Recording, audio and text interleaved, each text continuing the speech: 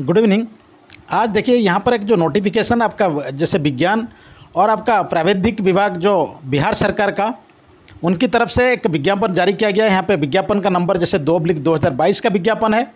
इसमें जो वैकेंसी है आपका ऑफ़िस अटेंडेंट जो आपका कार्यालय परिचरी कार्यालय परिचरी, जिसको जो है ऑफ़िस असिस्टेंट कहते हैं ठीक है? और उस वैकेंसी के लिए यहाँ पे नोटिफिकेशन जारी कर दिया गया है आपका विज्ञान एवं जो प्राविधिक जो विभाग, बिहार सरकार की तरफ़ से। ठीक है? और ये जो वैकेंसी के लिए जो नोटिफिकेशन जारी किया गया है, इसमें इनवाइट किया गया है जो बिहार राज्य के तमाम जो कैंडिडेट्स जो एलिजिबल कैंडिडेट्स हैं, इस पद के लिए आवेदन कर पाएँगे। जितने जो भी कैंडिडेट्स जो मैट्रिक पास कर चुके हैं टेंथ पास कैंडिडेट है, इस जो वैकेंसी के ऊपर अप्लाई कर सकते हैं। ठीक है? और इसमें ऑनलाइन आवेदन करने के लिए जो है निमंत्रित किया गया है जो कि आपका देखिए 23 सितंबर 2022 से आप आवेदन कर सकते हैं और इसका जो अंतिम तिथि है यहाँ पे ऑनलाइन आवेदन करने की जो अंतिम तिथि है 31 अक्टूबर 2022 तक आप आप, आप लोग आवेदन कर सकते हैं। पोस्ट देखिए आपका, जो आपका कार्यालय, जो परिचारी है, ठीक है, जिसको ऑफ़िस असिस्टेंट कहते हैं। यहाँ पे टोटल जैसे वैकेंसी की अगर बात करें, यहाँ पे देखिए 238 वैकेंसी आपका कार्यालय परिचारी का जो वैकेंसी है, आपका साइंस एंड टेक्नोलॉजी डिपार्टमेंट में, ठीक है। और, अभी बात करेंगे, जैसे इस, जो नोटि जो वीडियो में जो इस नोटिफिकेशन का जो कंप्लीट इन्फॉर्मेशन है, जो संपूर्ण जानकारी में हम कवर करेंगे, सबसे पहले इसका वैकेंसी डिटेल्स को, जैसे टोटल वैकेंसी है वैकेंसी को कैटेगरी वाइज किस तरह से बांटा गया है कोटिवार किस तरह से इसको बांटा गया है, ठीक है?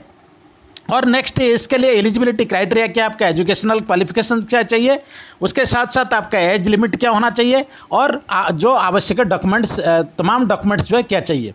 ठीक है? उसके बाद थर्ड स्टेज में हम बात करेंगे इसका सिलेक्शन प्रोसेस सिलेक्शन किस आधार पर किया जाएगा, ठीक है? अंत में इसका फाइनल जो मेरिट लिस्ट है, वो जो फाइनल जो मेधा सूची, किस तरह से तैयार किया जाएँगे। ये सभी पॉइंट्स जो है, इस वीडियो में मैं बिट बाई बिट जो है डिस्कस करूँगा। बिहार राज्य के सभी जो तमाम जो कैंडिडेट्स है, जो इंटरेस्टेड और एलिजिबल जो कैंडिडेट्स है, सबको निवेदन करूँगा। आप लोग जो है इस वीडियो में मेरे साथ शुरू से लेकर अंत तक संयम के साथ जो है इस वीडियो को देखें, ठीक है? ताकि मैं चाहता हूँ एक वीडियो में आपका पूरी जो है जानकारी इस नोटिफिकेशन के बारे में, इस एडवर्टाइज एडवर्टाइजमेंट के बारे में आपको क्लियर हो जाए।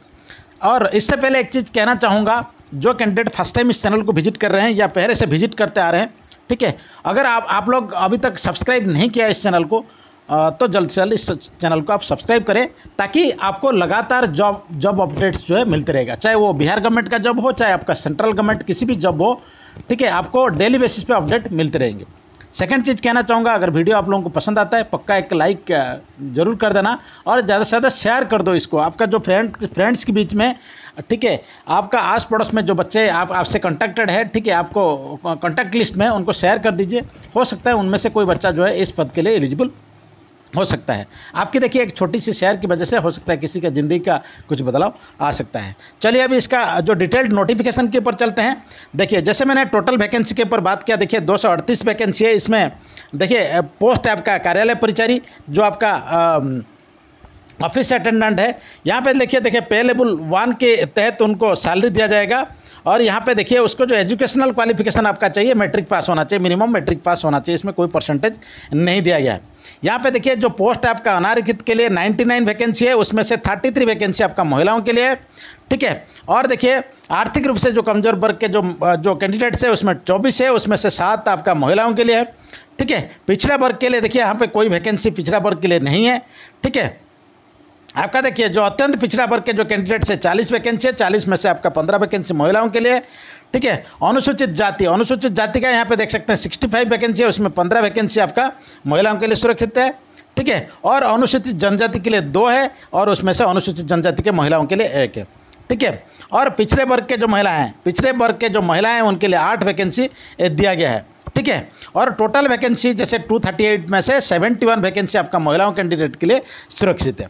यहाँ पे देखिए, आपका जो जो आपका यहाँ पे देख सकते हैं, जो वीआई है, आपका विजन जो दृष्टि दिव्यांग के लिए इसमें तीन वैकेंसी रखा गया है। और मुख्य मदिर आपका जो डी है इसमें दो वैकेंसी है, जो कि आपका मुख बधिर वाला जो दिव्यांग है, उनके लिए है। जैसे ओ एच है ओ एच का दो वैकेंसी जैसे इसको बोल, बोलते हैं चलन दिव्यांग है ऑर्थोपेडिकल हैंडीकेप जो कैंडिडेट्स है, दो वैकेंसी है। और यहाँ पे जो मल्टीपल डिसेबिलिटी जो कैंडिडेट्स है, यहाँ पे देख सकते हैं, तीन वैकेंसी यहाँ पे दिया गया है। ठीक है? अभी देखिए, अभी बात करते हैं इसका, जो न्यूनतम जो शैक्षणिक योग्य, योग्यता, इस पोस्ट के लिए क्या चाहिए? यहाँ पे देख सकते हैं, जो मिनिमम एजुकेशनल क्वालिफिकेशन जिसको कहते हैं, यहाँ पे मैट्रिक पास होना चाहिए या समक्ष होना चाहिए। ठीक है? इसके अलावा और कुछ नहीं मांगा है। ठीक है? आरक्षण, देखिए, आरक्षण, जो खास करके बिहार राज्य के जो मूल निवासी है बिहार राज्य के मूल निवासी होना अनिवार्य है तभी जाके आपको आरक्षण मिलेगा। बिहार राज्य से अगर कोई कैंडिडेट बाहर से बिहार राज्य के अलावा अदर स्टेट से अप्लाई करना चाहते हैं आप अप्लाई कर सकते हैं। सिर्फ़ आप ऑन रिज़र्व कैटेगरी के लिए आप आवेदन करेंगे ठीक है? और आपको रिजर्वेशन किसी रिज़र्व कैटेगरी में आप, आप लोग आवेदन नहीं कर पाएँगे। ठीक है यहाँ पे नेक्स्ट बात करेंगे जो जो आरक्षण कोटि के जो सभी कैंडिडेट्स को इसमें एडवाइज किया गया इस नोटिफिकेशन के अंदर आप जिस आ, मतलब कोटि के अंदर आते हैं आपका जो कंसल्ट जो मूल निवासी प्रमाण पत्र और कास्ट सर्टिफिकेट आपका सक्षम प्राधिकारी से आपको तैयार करना होगा। जैसे कि देखिए एक चीज़ बताना चाहूँगा आपका अनुसूचित जाति अनुसूचित जनजाति के जो कैंडिडेट्स है ठीक है वहाँ यहाँ पे देखिए क्लियरली बताया गया है आपका जो कंसल्ट सर्टिफिकेट है ठीक है? अनुसूचित जाति और अनुसूचित जनजाति के लिए जो सर्टिफिकेट है और जो मूल निवासी प्रमाण पत्र जो स्थायी निवासी प्रमाण पत्र जो है, वो आपको जो सक्षम प्राधिकारी के द्वारा निर्गत करना होगा। बट ये इसका जो अंतिम तिथि है, जैसे एप्लीकेशन का जो अंतिम तिथि है, इकतीस अक्टूबर 2000 आपका बाईस है वहाँ तक आपका निकला हुआ होना चाहिए। उसके बाद अगर कोई निकलता है, ठीक है, वो मान्य नहीं होगा। उसी तरह से जो आपका यहाँ पे देख सकते हैं जो आपका पिछड़ा वर्ग और जो अत्यंत पिछड़ा वर्ग के जो कैंडिडेट्स के लिए यहाँ पे कुछ निर्देशनामा दिया गया है। जैसे ऑनलाइन आवेदन समर्पित करने के लिए आपका जो क्रिमिलेयर रहित प्रमाण पत्र क्रिमिलेयर रहित प्रमाण पत्र जो है, आपको भौतिक भौतिक रूप से वो तैयार होना, जब आप अप्लाई कर रहे हैं, तब तक वो आपके पास होना चाहिए। ठीक है? तभी जाके आप इसको अप्लाई करेंगे। नेक्स्ट अभी बात करेंगे जो कैंडिडेट्स आरक्षण का दावा करते हैं, ठीक है? जो आरक्षण का दावा करने वाले जितने भी जो विवाहित महिलाएँ हैं, वो उनका जाति और क्रिमिनल रहित प्रमाण पत्र जो तैयार करेंगे, एक तो जाति प्रमाण पत्र तैयार करेंगे, दूसरी जो क्रिमिनल रहित प्रमाण पत्र तैयार करेंगे, वो उनका पिता का नाम से निर्गत किया होना चाहिए। मतलब जैसे जो विवाहित महिला हैं, वो जैसे उनका नाम रहेगा डटर ऑफ़ उनका पिता का नाम रहेगा वाइफ ऑफ़ ऐसे करके नहीं होगा वाइफ ऑफ़ फलाना सिंह करके नहीं होगा डटर ऑफ़ राम सिंह, दाम सिंह जो भी आपका पिता का नाम है, उसी हिसाब से पिता के नाम से निर्गत किया होना चाहिए। ठीक है? यहाँ पे उसी तरह से देखिए, आपका दिव्यांग जो अभ्यर्थी है, उनके लिए भी जो दिव्यांगता सर्टिफिकेट जो है, आपको जो कंसर्न सक्षम प्राधिकारी से आपको अप्रूव कराना होगा। ठीक है? यहाँ पे दूसरे एक चीज़ मैं बताऊँगा, जैसे आपका दिव्यांगता संबंधित आपका आरक्षण का जो दावा करने वाले जो दिव्यांग अभ्यर्थी है ठीक है? उनको काउंसिलिंग के समय काउंसिलिंग के समय पे सामान्य जो आपका दिव्यांगता प्रमाण पत्र जो समर्पित करना होगा। ठीक है? दिव्यांगता प्रमाण पत्र जो डिसेबिलिटी सर्टिफिकेट है जब आपको काउंसिल के लिए जो बुलाए बुलवाया जाएगा तब आपको उसको समर्पित करना होगा जो सबमिट करना होगा। ठीक है? नेक्स्ट यहाँ पे बात करेंगे। आपका देखिए जो आ, सभी जो वांछित आपका प्रमाण पत्र जितने भी आपका प्रमाण पत्र है जो इसमें ऑनलाइन आवेदन करने की जो अंतिम तिथि तक निर्गत होना अनिवार्य है। यहाँ पे बिल्कुल क्लियर दिया गया है जितने भी आपका डॉक्यूमेंट्स इसमें जो आपको तैयार करना है या प्रस्तुत करना है ये सभी जो इस आवेदन का ऑनलाइन आवेदन का सम, सम, जो आपका अंतिम तिथि तक निर्गत किया होना चाहिए। अभी बात करते हैं उम्र सीमा की। उम्र सीमा की अगर बात करें आपका निम्नतम जो आयु सीमा है देखिए यहाँ पर अठारह साल रखा गया है ठीक है? अनारक्षित वर्ग के जो पुरुष है वो थर्टी सेवन ईयर्स तक इस पद के लिए आवेदन कर पाएँगे। अना अनारक्षित वर्ग के जो महिलाएँ हैं, चालीस वर्ष तक इस पोस्ट के लिए आवेदन कर पाएँगे। नेक्स्ट देखिए, यहाँ पे जो पिछड़ा वर्ग या अत्यंत पिछड़ा वर्ग के पुरुष और महिलाएँ जो कैंडिडेट है चालीस वर्ष तक इस पद के लिए आवेदन कर पाएँगे। अनुसूचित जाति, अनुसूचित जनजाति के पुरुष और महिलाएँ जो कैंडिडेट्स हैं यहाँ पे देख सकते हैं आप, जो है ये लोग बयालीस वर्ष तक इस पोस्ट के लिए आवेदन कर पाएँगे। इसके अलावा जो दिव्यांग कैंडिडेट्स हैं, उनको अतिरिक्त और दस साल की जो है इसमें जो एज रिलैक्सेशन मिलेगा। हर अपना कैटेगरी वाइज दस साल और आपको दिए जाएँगे। ठीक है? नेक्स्ट अभी बात करेंगे। यहाँ देखिए आपका चयन प्रक्रिया। चयन प्रक्रिया में आपको बिल्कुल क्लियर करा देना चाहता हूँ। आपको इसमें कोई रिटर्न एग्जामिनेशन कोई रिटर्न एग्जामिनेशन वगैरह की देने की ज़रूरत नहीं है। इसमें कोई एप्लीकेशन फ़ीस भी नहीं है। ठीक है? एप्लीकेशन फ़ीस भी देना नहीं पड़ेगा और आपको रिटर्न एग्जामिनेशन भी नहीं है। जो आप मेट्रिक लेवल में मेट्रिक में यहाँ पे देखिए मेट्रिकुलेशन अथवा या समकक्ष जो प्रमाण पत्र है, उसमें आपको जितना जो प्राप्त अंक है, उसके आधार पर आपका फाइनल जो मेधा सूची तैयार किया जाएगा। ठीक है? मतलब इन ऑर्डर ऑफ़ मेरिट देखा जाएगा, जो सबसे ज़्यादा नंबर रखने वाले अकॉर्डिंग टू जो वैकेंसी डिटेल्स है, उसी हिसाब से जो सबसे ज़्यादा परसेंटेज रखेंगे इन ऑर्डर ऑफ़ मेरिट जो फाइनल मेधा सूची तैयार किया जाएगा। इसमें कोई रिटर्न एग्जामिनेशन वगैरह नहीं लिए जाएँगे। ठीक है यहाँ पे देखिए, कोटिवार जो रिक्त पदों की अधिकतम जैसे आपका, इसके बाद जैसे काउंसलिंग किया जाएगा, ठीक है, आपका जो काउंसलिंग के समय पे काउंसलिंग में जैसे आपका डॉक्यूमेंट वेरिफिकेशन किया जाएगा, ठीक है, आपका एक तो सबसे पहले आपका मेट्रिकुलेशन का परसेंटेज देखवा जाएँगे, ठीक है, और परसेंटेज के आधार पर एक प्रोविजनल मेरिट लिस्ट सबसे पहले तैयार किया जाएगा, और वैकेंसी के अनुसार वैकेंसी के अनुसार उसका तीन गुना कैंडिडेट्स को जो इन ऑर्डर ऑफ़ मेरिट ठीक है इन ऑर्डर ऑफ़ आपका मेरिट जो प्रोविजनल मेरिट के आधार पर जो आपका परसेंटेज के आधार पर जो प्रोविजनल मेरिट लिस्ट बनेगा और वैकेंसी को मद्देनजर रखते हुए ठीक है तीन गुना वैकेंसी आपका जितना वैकेंसी है जैसे टू वैकेंसी है उसका तीन गुना कैंडिडेट्स को आपका काउंसिलिंग के लिए बुलवाया जाएगा। और काउंसिलिंग के दौरान आपका तम, तमाम जो डॉक्यूमेंट्स है वो उसका जाँच किए जाएँगे डॉक्यूमेंट सत्यापन किया जाएगा ठीक है। और डॉक्यूमेंट में जो सही, जो सेटिस्फैक्ट्री और जैसे डॉक्यूमेंट वेरिफिकेशन होने के बाद इन ऑर्डर ऑफ़ मेरिट आपका फाइनल मेधा सूची तैयार कर दिया जाएगा।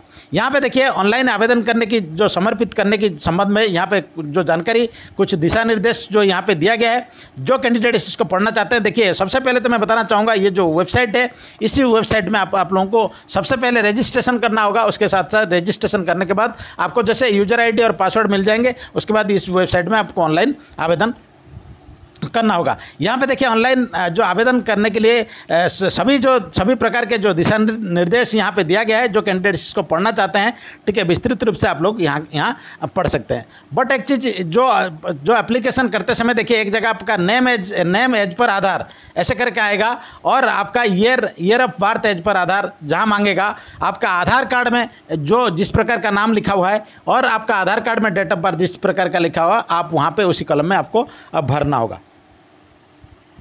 ठीक है नेक्स्ट बात करेंगे, जैसे यहाँ पे देखिए आपका फोटोग्राफ किस तरह से आपको जो है, उसको स्कैन करना है, किस तरह से अपलोड करना है, कितने आपका जेपीजी जेपीजी फॉर्मेट का आपका साइज़ क्या होगा, ये तमाम जानकारी यहाँ पे दिया गया है, जो कैंडिडेट इसको पढ़ना चाहते हैं, पढ़ सकते हैं। यहाँ पे देखिए, शिक्षण की योग्यता की पहले भी मैं बता चुका हूँ, अगर कोई कैंडिडेट्स का शिक्षण की योग्यता, जैसे आपका जो, यहाँ पर मैं बताना चाहूँगा, अगर कोई सी जैसे ग्रेडिंग सिस्टम में अगर दिया हुआ है सीजीपीए या जीपीए या एस की सिस्टम में अगर स्कोर दिया गया है ठीक है किसी भी अगर कैंडिडेट्स का सर्टिफिकेट में अगर इस तरह से है, वो कंसर्ट आपका जो आपका एजुकेशन डिपार्टमेंट से आपका इसको कन्वर्जन करने का कन्वर्ट कर, करने का जो सर्टिफिकेट वो भी वो वो भी उनको आ, मतलब सबमिट करना होगा। ताकि उस आधार पर उसके आधार पर जो है आपको इसका जो सीजीपीए को इसमें कन्वर्ट किए जाएँगे बदला जाएँगे परसेंटेज में बदला जाएँगे। ठीक है? नेक्स्ट देखिए, यहाँ पे जो आपका वैध और जो सक्रिय जो मोबाइल नंबर आपका है, जैसे वैलिड और एक्टिव जो मोबाइल नंबर से जब ऑनलाइन आवेदन करेंगे, उस टाइम आपका जो एक्टिव मोबाइल नंबर है और जो वैलिड आपका जो ईमेल आईडी है, ठीक है एक्टिव एक्टिव पोजिशन में होना चाहिए, उसको आप सब सबमिट करना ना भूलिएगा। क्योंकि सिलेक्शन प्रोसेस में कुछ जानकारी ऐसा है, जो आपको ईमेल आईडी और एसएमएस के ज़रिए आपको भेजे जाएँगे। तो इसलिए सभी जो कैंडिडेट सभी जो उम्मीदवार को दोबारा मैं कहना चाहता हूँ, जब आप ऑनलाइन जब आवेदन करते हैं, वही मोबाइल नंबर ईमेल आईडी दीजिए, जो कि सक्रिय हालत में है, जो एक्टिव एक्टिव और वैलिड हालत में है। ठीक है? यहाँ पे देखिए नेक्स्ट अभी बात करेंगे, यहाँ देख सकते हैं, जैसे आवेदन पत्र का आपका फाइनलाइज करने के लिए आपका उपरांत, यहाँ पे देखिए जो आपका, जैसे आपका ऑनलाइन एप्लीकेशन आप सक्सेसफुली सबमिट कर लेते हैं, उसके साथ साथ आपको उसको डाउनलोड करके उसका प्रिंट भी आपको लेना होगा, क्योंकि ये जो प्रिंट है, आपको सिलेक्शन प्रोसेस में आपको जमा भी करना होगा, जब डॉक्यूमेंट सत्यापन या काउंसिलिंग के लिए जब आपको बुलवाए जाएँगे। ठीक है? यहाँ नेक्स्ट जो पॉइंट है, देखिए, आवेदन करने की जो अंतिम तिथि तक आपका आवेदन पत्र को प्रिंट देखिए, आवेदन पत्र का जो प्रिंट प्रिंट आप उसी डेट तक निकाल सकते हैं जो आपका एप्लीकेशन करने का अंतिम तिथि। जैसे अर्थात आपका जैसे इकतीस अक्टूबर 2022 तक ये जो आपका प्रिंट वगैरह है, जैसे सप्ली जो आप एप्लीकेशन सबमिट किया उसका प्रिंट आप ले सकते हैं, उसके बाद आपको नहीं मिलेगा। ठीक है? यहाँ पे देखिए कुछ जानकारी है जो मैक्सिमम जो इंपॉर्टेंट जितने भी जानकारियाँ हैं, मैं डिस्कस किया, ठीक है? और इसमें एक चीज़ मैं एडवाइज करूँगा, जो बिहार राज्य के सभी जो कैंडिडेट्स कैंडिडेट्स को, जो कैंडिडेट्स फुल नोटिफिकेशन को पढ़ना चाहते हैं, यहाँ पे वीडियो को पहुँच करके आप लोग पढ़ सकते हैं, या मेरा टेलीग्राम में एक पेज है, वहाँ पर इसको मैं शेयर करूँगा। टेलीग्रा टेलीग्राम में जो पेज है वो टू सक्सेस के नाम से, उसका टेलीग्राम पेज का जो लिंक है, इस वीडियो का डिस्क्रिप्शन में मैं दे दूँगा। उस लिंक के माध्यम से आप जो है, मेरा टेलीग्राम पेज में ज्वाइन कीजिए, और वहाँ पर इसका पीडीएफ को आप, जो है डाउनलोड कर सकते हैं, करके आप जो है पढ़ सकते हैं, पूरी तरह से इसका पीडीएफ को पढ़ सकते हैं। ठीक है? और दोबारा कहना चाहता हूँ, इसका जो अंतिम तिथि है, आवेदन करने की जो अंतिम तिथि है, यहाँ पे देखिए, मैं दिखाना चाहता हूँ। ठीक है? आपका इकतीस इकतीस, दस दो हज़ार बाईस रखा गया है। तो सभी कैंडिडेट्स को कहना चाहूँगा लास्ट मिनट का जो रस है, वो मतलब वहाँ के लिए आप इंतज़ार मत कीजिए, आप टाइम से पहले भर लीजिए, क्योंकि लास्ट दो तीन, दो दो तीन दिन जब रहता है, तब वेबसाइट का काफ़ी प्रॉब्लम होता है। काफ़ी सारे बच्चे जो है, आज करेंगे, काल करेंगे, करके इस तरह से करके वो लास्ट दिन तक मतलब कर नहीं पाते हैं। तो फिर साइट जाम होने का नेटवर्क जो सर्वर डाउन होने का काफ़ी सारे चांसेस रहता है। तो फिर आपको ऐसे दिक्कत हो जाएगी कि आप अप्लाई भी नहीं कर पाएँगे। ठीक है? आशा करता हूँ ये जो वीडियो में मैं जो डिस्कस किया जो पॉइंट डिस्कस किया जो बिहार राज्य के सभी जो कैंडिडेट्स है इस, इसको वीडियो को देखेंगे तो समझ समझ पाएँगे। फिर भी अगर आप लोगों का मन में अगर किसी प्रकार का शंका या सवाल रहता है तो मुझे कमेंट सेक्शन में ज़रूर कमेंट करके पूछिएगा। ठीक है? इसके साथ इस नोटिफिकेशन कहीं पर ख़त्म करते हैं। जय हिंद जय भारत।